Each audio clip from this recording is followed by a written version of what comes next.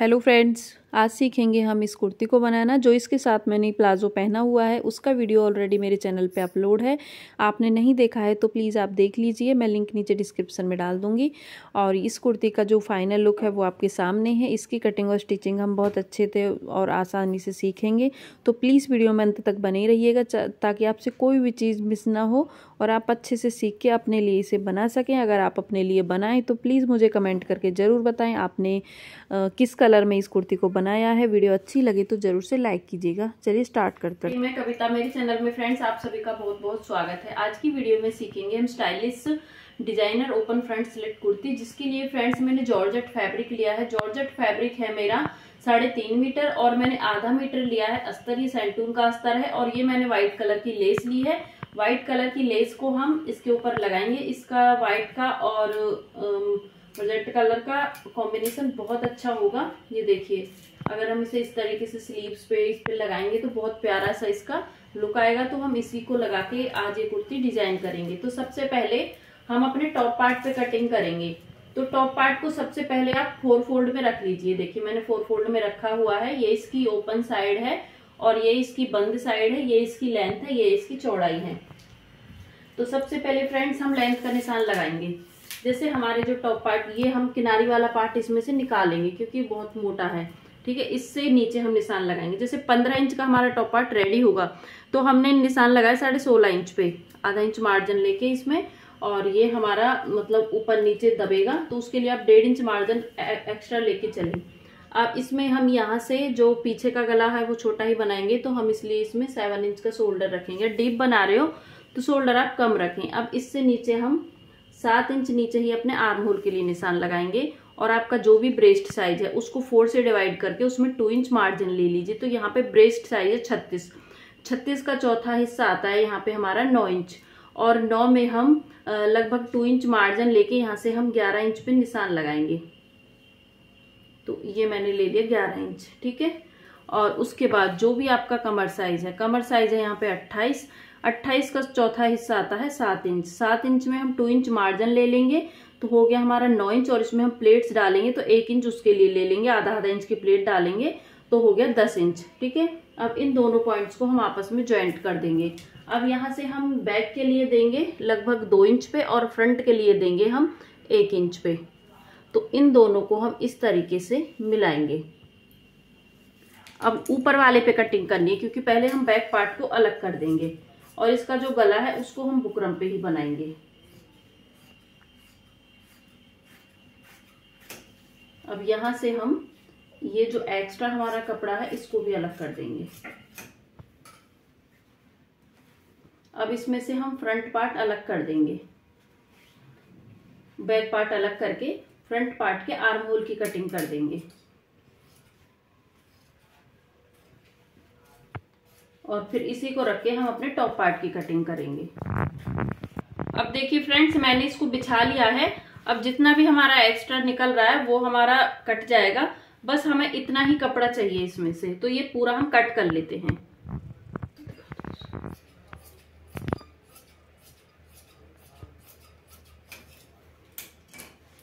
तो इसको हम, ये हमने फ्रंट पार्ट रखा हुआ है। तो इसको हम थोड़ा सा एक्स्ट्रा ही कटिंग करेंगे।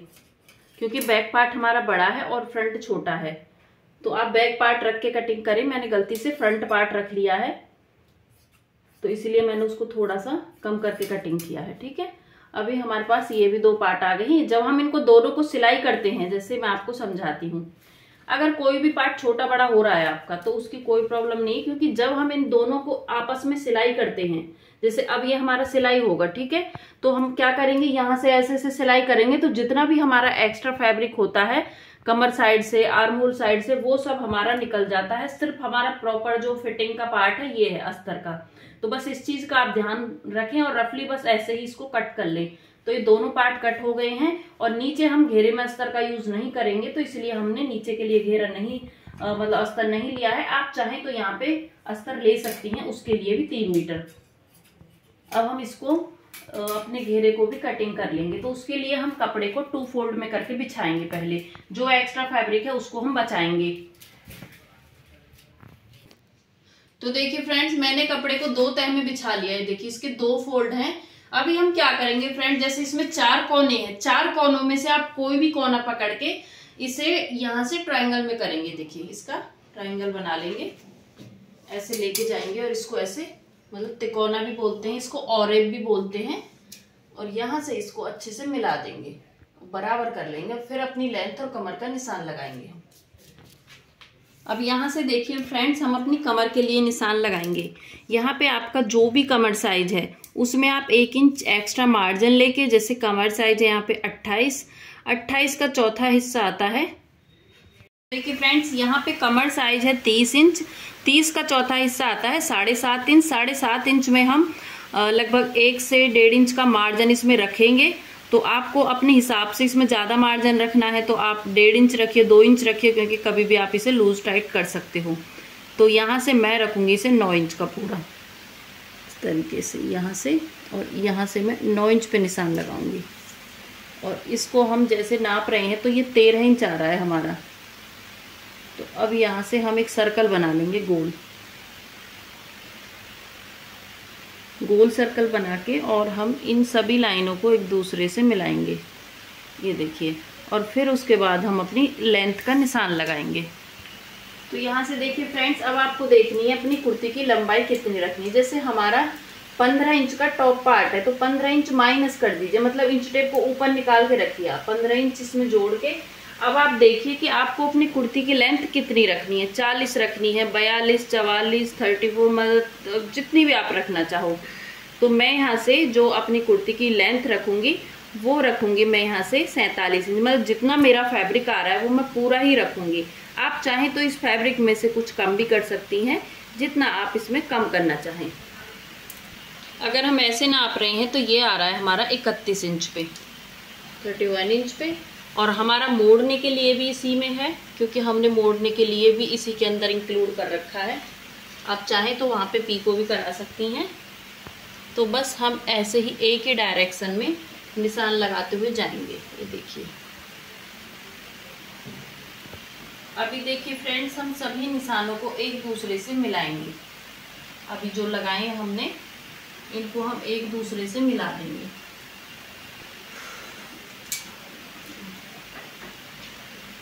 अब यहाँ से इसको कटिंग कर देंगे उसी लाइन के ऊपर।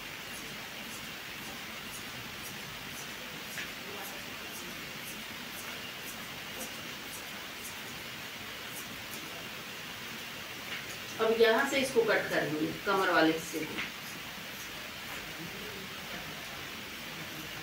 अब ये कट करके लेके जाएँगे।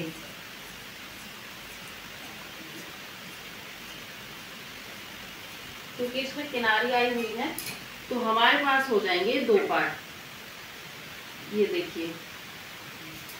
इस तरीके से हमारे पास ये दो पार्ट हो गए हैं, ठीक है?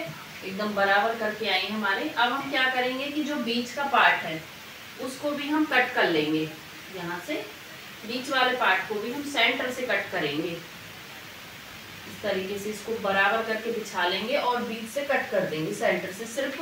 और सिर्फ़ फ्रंट पार्ट को कट करना है। ध्यान रखें आप बैक पार्ट को नहीं करना है, सिर्फ़ फ्रंट पार्ट को यहाँ से सेंटर से कटिंग कर देंगे इसकी। तो हमारा ओपन रहेगा।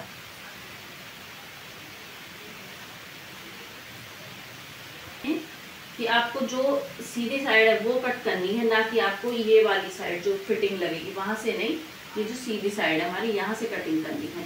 तो ये हमारी पूरी कटिंग हो गई है बचे हुए फैब्रिक से स्लीव्स निकालेंगे। देखिए फ्रेंड्स अगर आप स्लीव छोटी निकालना चाहते हो तो छोटी तो इसमें से निकल जाएँगी इजीली बट इसमें से बड़ी नहीं निकल रही हैं तो इस फैब्रिक को हम कहीं और यूज़ कर लेंगे। तो मैंने जो बचा हुआ फैब्रिक था, घेरे में से, उसी में से अपनी बाजू निकाल रही हूँ। तो बाजू की तैयार लेंथ रहेगी बीस इंच, उसमें हम लगभग मोड़ने के लिए लेके बाईस इंच पे निशान लगाएँगे, इस तरीके से। और एक्स्ट्रा फैब्रिक को हम इसमें से कट कर देंगे, जो हमारा बचेगा। अभी हम यहाँ से अपनी उसका चौड़ाई का और लेंथ का मैंने आपको बता ही दिया है, इसको पहले बराबर कर लेंगे। तो यहाँ से देखिए, चौड़ाई में रखेंगे हम इसे साढ़े नौ इंच और खुली साइड से रखेंगे तीन इंच और इस तरीके से हम इसकी गोलाई कर देंगे।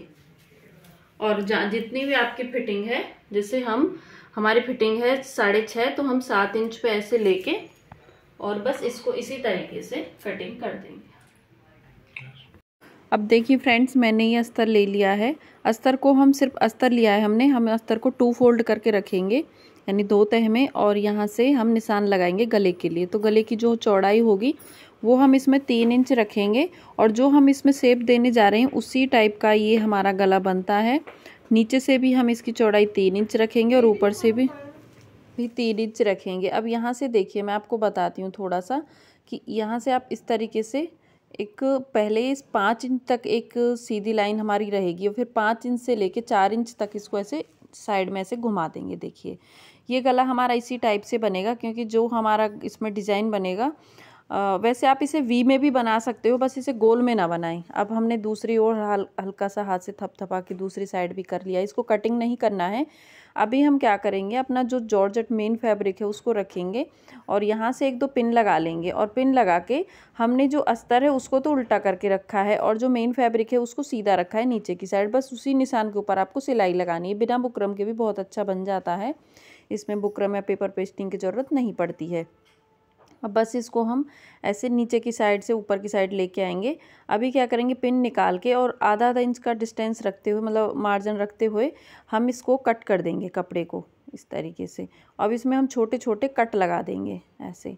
कट लगाने के बाद अब इस कपड़े को हम पलट देंगे उल्टी साइड को। उल्टी साइड को पलटने के बाद इस पर अच्छे से पहले मैं प्रेस से इसको बिठा लूँगी। तो मैंने इस पर प्रेस कर ली है। अभी आप इसमें लेस वगैरह कुछ भी लगा सकते हो। यहाँ से थोड़ा सा आपको दिखाई नहीं देगा बट मैं आगे से आपको समझा दूँगी मैंने क्या। तो यहाँ से देखिए, मैंने चारों तरफ़ को इसमें सिलाइयाँ लगा ली हैं। मतलब अस्तर को और मेन फैब्रिक को अच्छे से मैंने रख लिया है, बस सिल लिया है। और सिलने के बाद आपको जो आपका बैक पार्ट है, उसको भी ऐसे ही सिलना है। अब यहाँ से प्लेट की चौड़ाई मतलब चौड़ाई में डिस्टेंस में रखेंगे, साढ़े तीन इंच से चार इंच रख सकते हो आप, और लंबाई में पाँच से साढ़े पाँच इंच का आप इसको रख सकते हो प्लेट को। हमने एक इंच एक्स्ट्रा लिया था प्लेट के लिए। अब हम इसमें आधा आधा इंच की प्लेट डाल देंगे। और ये प्लेट मुझे दोनों साइड को डालनी है। बैक में भी ऐसी डालनी है और फ्रंट में भी मतलब दोनों पार्ट में सेम सेम डालनी है। तो ये फ्रंट पार्ट हो गया रेडी अभी हम जो अपना अस्तर लिया मेन फैब्रिक लिया था, उसको साइडों से सिलेंगे। वो मैं आपको थोड़ा ज़मीन पे ही रख के बताऊँगी। ये देखिए, ये हमारा टॉप पार्ट है और ये है हमारे पास ये दो पार्ट तो इनको जो सिलाई की है, वो मैं आपको भी दिखाती हूँ। ये देखिए, मैंने यहाँ से इसको सिलाई किया है सामने से। जैसे मैंने कटिंग किया था, ऐसे ही दोनों पल्लों को सामने से मैंने सिल लिया है। ये देखिए ये दोनों सिल गए हमारे आपस में। अभी बस इसको जैसे मैं आपको रख के दिखा रही हूँ, ऐसे ही हम यहाँ से सिलाई लगा लेंगे। अगर बाई चांस कोई पार्ट बड़ा बैठ रहा है आपका मेन फैब्रिक तो उसको थोड़ा थोड़ा कट करके बराबर कर लीजिए। ऐसे हमें इस लेस को लगाते हुए लाना है। मैं आपको इसका बैक पार्ट भी दिखाती हूँ, उसको भी मैंने रेडी कर लिया है। बैक पार्ट में हमने छः इंच का गला लिया है, तीन इंच चौड़ाई छः इंच लंबाई और इसमें कट नहीं था तो इसलिए इसको हमने सिंपली जोड़ लिया है और पीछे दो प्लेट डालनी है। अभी बाकी हमें क्या करना है फ्रेंड्स कि यहाँ से इसमें पहले हम अपने पार्ट जोड़ लेंगे। नीचे आप इसमें पीको करा सकती हैं या फिर उसको मोड़ सकती हैं, जैसे भी आपको ठीक लगे। तो यहाँ से पहले मैं इसको पूरा सिलाई कर दूँगी। देखिए, ध्यान रखें, जो सेंटर में मैंने एक निशान लगा रखा है चौक से, आपको भी ऐसे ही निशान लगाना है, ताकि आप सेंटर से इसको बिल्कुल अपनी जो दोनों पार्ट हैं, उनको अच्छे से जोड़ें। अगर बाई चांस इधर उधर को पार्ट निकल रहे हैं तो फिटिंग वाली साइड को निकालें, बीच में से उसको बराबर रखें। तो देखिए, मैंने दोनों जोड़ ली हैं। अब इसके ऊपर हम लेस लगाएँगे। लेस हमने वाइट कलर की ली है। वाइट और पिंक का कॉम्बिनेशन बहुत अच्छा आता है। अब बस इसको जैसे हमारे गले की सेप आई हुई उसी के अकॉर्डिंग हमें इसे लगाते हुए लाना है। और नीचे की साइड, जैसे ऊपर की साइड से हमने घुमाया और जो मैंने सेंटर में निशान लगा रखा है, वहाँ से उस स्लिट तक नीचे लेके आना है। ध्यान रखें, जो हमारा निशान है सेंटर से, उससे क्वार्टर इंच हटा के ही रखें इसको, ताकि आप नीचे स्लिट तक आ सकें। क्योंकि अगर बिल्कुल सेंटर में रखेंगे तो फिर वो हमारा दूसरा जो दूसरी लेस आएगी तो वो साइड में निकल जाएगी। तो इसलिए थोड़ा सा ध्यान दे के करें। अभी देखिए मैं सेम दूसरी साइड भी लगाऊँगी, जैसे मैंने इस साइड लगाई है। अब यहाँ से भी ऐसे ही बिल्कुल वैसे ही कर्व देना है, जैसे हमने इस साइड दिया था और यहाँ से भी हम दूसरी सिलिट की तरफ़ लेके आएँगे लेस को। और बैक पार्ट में हमें कुछ नहीं करना है, उसमें लेस वगैरह नहीं लगानी सिर्फ़ स्लीव्स पे हम ये लेस लगाएँगे। स्लीव्स को नीचे से बॉटम से मोड़ लेंगे और नीचे देखिए हम इसमें या तो मोड़ लेंगे या फिर पीको कर लेंगे। लेस ये हमारी स्लीव्स हैं। पहले मैंने शोल्डर जोड़ लिया है, स्लीव्स के मैंने बॉटम पे दो लाइनें लगाई हैं लेस की। सिंपली जैसे हम बाजू जोड़ते हैं, ऐसे ही हम इसको जोड़ लेंगे। ये देखिए, यहाँ से बिल्कुल भी खींचना नहीं है आपको बाजू को, दूसरी बाजू को सेम ऐसे ही लगाएँगे जैसे हम आपको ये वाली लगा के दिखा रहे हैं। नीचे रखना है शोल्डर को, ऊपर रखना है बाजू को, उल्टा करके। ठीक है, और भी डिज़ाइनर डिज़ाइनर ड्रेसेस सीखनी है तो मेरे चैनल पे अपलोड हैं, जो कि मैंने हाल हाल में ही अपलोड की हैं। बहुत प्यारी प्यारी ड्रेसेस हैं, वो भी प्लाजो, कुर्ती अम्ब्रेला गाउन मतलब कुछ भी आप मेरे चैनल से सीख सकते हो। मैंने फ्री में सिलाई क्लास भी दे रखी हैं। आप वहाँ जाके फ्री में सिलाई भी सीख सकते हो। अब बस इसको हम यहाँ से नीचे से फिटिंग कर देंगे फ्रेंड जितनी भी आपकी फिटिंग है। उसके हिसाब से फिटिंग करते हुए, वैसे भी थोड़ा सा मतलब फिटिंग में ही अच्छा लगता है बाजू से। तो आप अपने पसंद से इसमें चूड़ी वाली बाजू भी बना सकते हो बट मैंने इसको थोड़ा सा मतलब ऊँचा ही रखा है ताकि ज़्यादा नीचा ना रहे। बस अब फिटिंग से लेके ये दोनों साइड मेरी बिल्कुल कमर वाली एकदम मिल के आई हैं। अब सेम हम दूर नीचे बॉटम तक लेके आएँगे इनको और बॉटम तक ला के फिर हम दूसरी साइड से फिटिंग कर देंगे। बॉटम वाले हिस्से भी हमारे दोनों बराबर थे, अब दूसरी साइड से फिटिंग करके और फिर हम इसमें नीचे पीको करा लेंगे। तो ये हमारा जो कुर्ती है वो बन के रेडी हो जाएगी। अगर आपको वीडियो अच्छी लगे तो प्लीज़ लाइक कीजिएगा। ऐसी ही नई नई वीडियोस देखने के लिए मेरे चैनल को सब्सक्राइब करें। तो ये देखिए, ये फाइनल लुक है। जो मैंने ये प्लाजो पहना हुआ है, इसका वीडियो मेरे चैनल पर पहले से ही अपलोड है। ये मैंने नेट से बनाया था। ये हमारा कढ़ाई वाला नेट है। ये प्लाजो का लिंक मैं नीचे डिस्क्रिप्सन में डाल दूँगी। आप वहाँ जाके सीख लिए उसी के हिसाब से मैंने इस कुर्ती को बना के रेडी किया है। और आप चाहें तो इसमें नीचे अस्तर लगा सकती हैं, आप अस्तर लगाना चाहती हैं तो इसका जो घेरा है उसमें बट मैंने इसमें अस्तर नहीं लगाया था, इसका लुक बहुत प्यारा था, बिना अस्तर के ही। तो इसमें वैसे अस्तर की ज़रूरत नहीं पड़ती, अगर इसमें सेम कलर का प्लाजो होता मतलब जैसे पिंक की तो बिल्कुल भी कुछ पता ही नहीं लगता, ये वाइट कलर का